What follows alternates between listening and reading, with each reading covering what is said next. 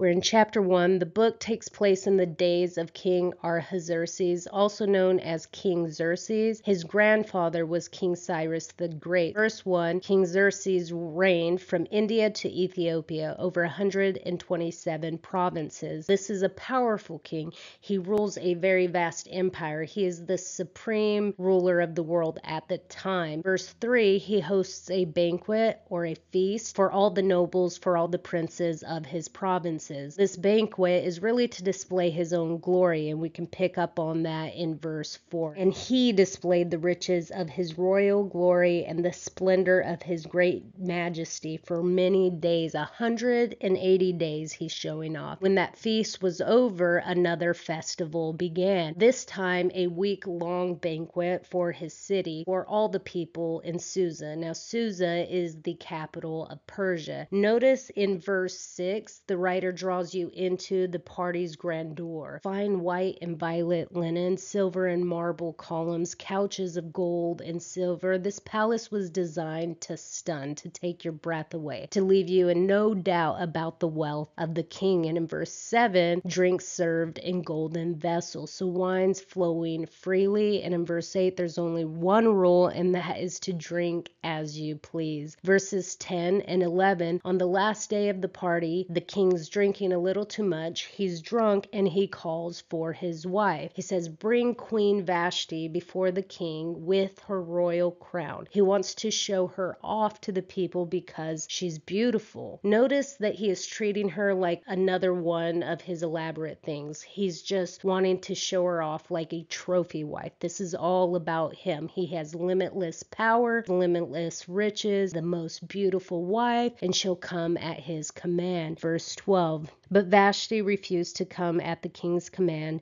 delivered by the eunuchs. Then the king became very angry, and his wrath burned within him. He controls everything, down to how the people drink at his party, but he has no control and he loses it. He has the power, the prestige, the influence, the money, but his marriage is a sham. This gives us insight of what's really happening behind closed doors. He's really empty and now embarrassed in front of his guests. His wife refuses to come. And in verse 13, this great, powerful king cannot control his temper tantrum. So he summons wise men to come up with a solution to this problem, and they decide that Vashti must go go. She's a terrible example to the women of Persia, they say, and she is to never again be in the king's presence. In his drunken anger, he mandates that men should be masters of their home. And this is just laughable. A man cannot demand or force respect from his wife, and that's what he is trying to mandate. Leadership in the home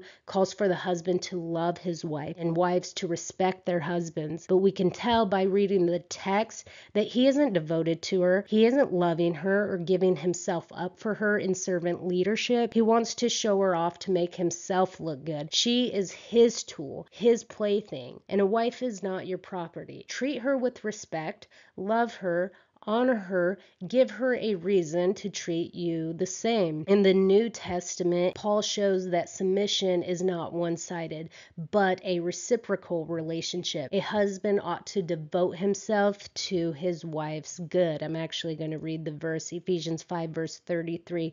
Nevertheless, each individual among you also is to love his own wife even as himself, and the wife must see to it that she respects her husband. Reading this chapter, we learn that the king's pursuit of wealth, prestige, and power left him empty and foolish. That's something you can't respect. He cared more about his possessions than he cared about loving his wife.